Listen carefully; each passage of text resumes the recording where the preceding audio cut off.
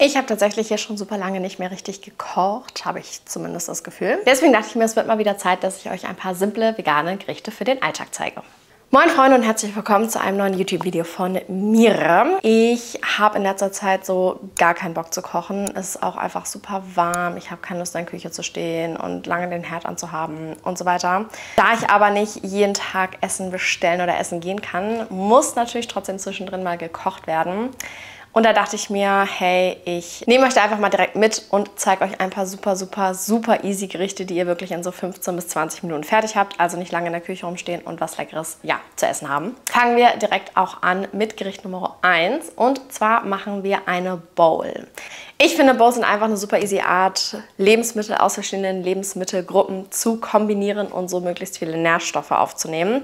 Finde ich persönlich super praktisch. Und heute machen wir eine Reisbowl. Ihr könnt natürlich auch was anderes benutzen statt Reis als Kohlenhydratquelle. Reisnudeln zum Beispiel, die gehen auch mega, mega schnell. Oder Mie-Nudeln oder auch Quinoa oder Couscous, wenn ihr eher auf sowas Lust habt.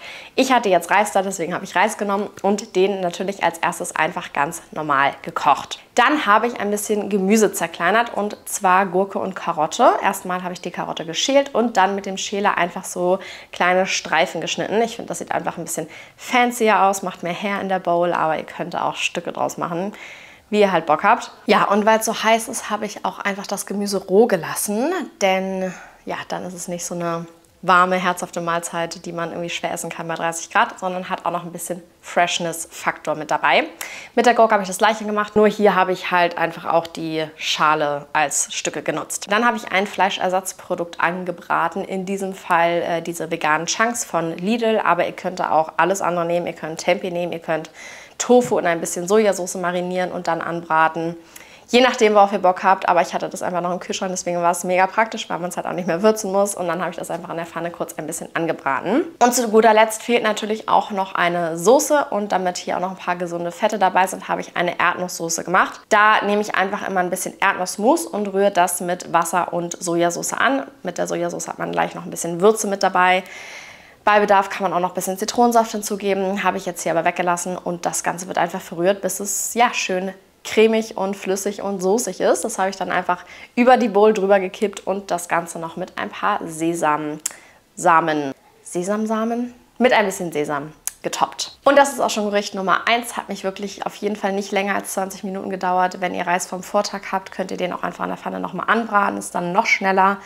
Und ja, super easy, nährstoffreiches Rezept. Kommen wir zu Gericht Nummer 2. Hier machen wir eine Pasta und zwar eine schnelle Form dieser Paprika, Tomaten, Ofenpasta. Ich weiß nicht, ob ihr die kennt. Das ist jetzt ein ja, nicht so unbekanntes Gericht. Einfach das Gemüse im Ofen backen und dann zu einer Soße. Aber damit es ein bisschen schneller geht, braten wir das Gemüse heute an. Erstmal habe ich Zwiebel, Paprika und Tomate klein geschnitten. Einfach in ja, grobe Stücke, ist nicht so wichtig, weil später wird es eh püriert. Dann habe ich das Ganze in einer Pfanne angebraten. Erst die Zwiebel glasig gedünstet, dann den Rest des Gemüses hinzugegeben und währenddessen einfach ein paar Cashews eingeweicht. Cashews sind eine so, so, so geile Basis für vegane Soßen. Es geht mega schnell, es ist mega easy und man kann da richtig geilen Shit draus machen. Und dann habe ich auch noch ein paar Spaghetti ganz normal nach Packungsanweisung gekocht. Könnt auch jegliche andere Art von Nudeln nehmen. Ich hatte nur noch so viel Spaghetti da, deswegen habe ich die benutzt. Und wenn das Gemüse weich ist und die Cashews auch genug eingeweicht sind, dann können wir das Ganze auch schon pürieren. Ich habe da auch noch ein bisschen von dem Nudelwasser mit hinzugefügt, einfach damit das Ganze noch geschmeidiger wird, noch cremiger wird. Finde ich einfach noch ein bisschen geiler.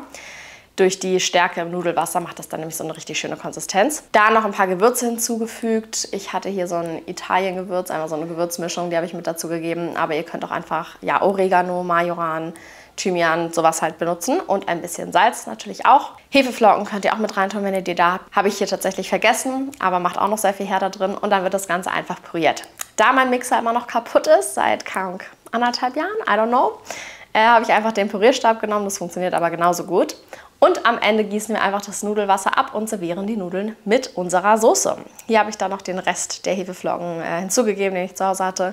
Und dann kann das Ganze auch schon genossen werden. Ist halt wie gesagt so ein bisschen eine schnelle Art dieser Ofenpasta. Und ich finde es einfach mega lecker, weil dadurch, dass das Gemüse diese Röstaromen hat, hat es einfach nochmal einen viel intensiveren, richtig, richtig geil gebratenen Geschmack. Kommen wir zu unserem dritten und letzten Gericht für heute und zwar machen wir eine Reispfanne, die ihr super easy machen könnt, wenn ihr noch Reis vom Vortag habt.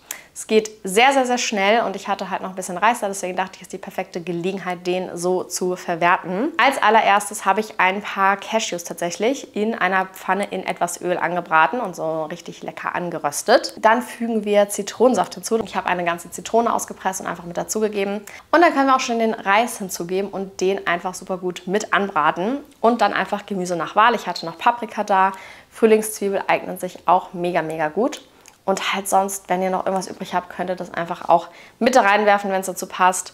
Das ist wirklich so eine kleine Resteverwertungspfanne. Und als nächstes kommt auch noch ein Schuss Sojasauce mit dazu, einfach für etwas mehr Würze. Und natürlich brauchen wir noch eine Proteinquelle. Ich hatte noch ein bisschen Räuchertofu da, deswegen habe ich den auch noch mit dazu gegeben und mit angebraten. Und wenn ihr das Ganze zu trocken findet, könnt ihr natürlich immer noch mehr Sojasauce, solange es nicht zu würzig wird, und noch mehr Zitronensaft hinzugeben. Und das äh, war es dann auch schon. Ich habe noch ein bisschen Frühlingszwiebel oben drauf getan, um das Ganze zu quasi dekorieren. Und das ist unsere super schnelle Resteverwertungs-Lemon-Reispfanne. Auch mega easy, mega sättigend und einfach perfekt, wenn man noch ein bisschen Zeug da hat, was man loswerden möchte. Das war's dann mit diesen drei Gerichten. Ich hoffe, es hat euch gefallen und es war etwas für euch dabei. Wenn dem so ist, lasst gerne einen Daumen nach oben da. Und abonniert auch gerne kostenlos meinen Kanal für weitere Rezeptideen in der Zukunft. Wenn ihr noch ein paar mehr Rezeptideen sehen möchtet, dann schaut euch auch gerne diese Playlist an. Da habe ich alle gespeichert, die ich bisher gemacht habe. Und dann war es das von mir. Wir sehen uns nächste Woche wieder. Macht's gut, bleibt gesund. Bis dahin. Ciao.